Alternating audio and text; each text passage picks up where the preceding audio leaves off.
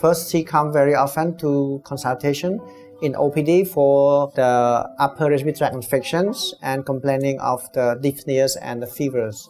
And then we were suspicious she has problem with the heart. Then they refer to me.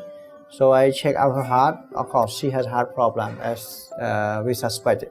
ខ្ញុំមានអារម្មណ៍ភ័យខ្លាចខ្ញុំដល់ព្រោះខ្ញុំមិនដែលធ្លាប់មាន មានជំងឺនេះនៅក្រុមគ្រួសារខ្ញុំអត់មានជំងឺនេះ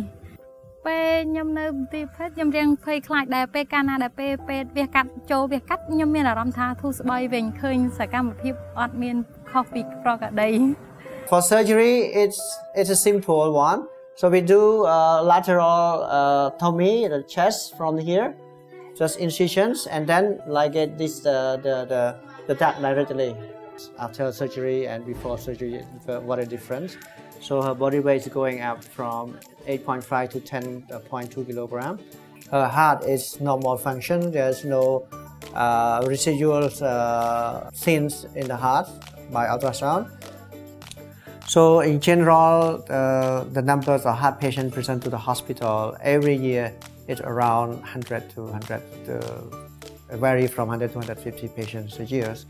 But in fact, the surgery that we are able to do is around 20 to 30 cases only.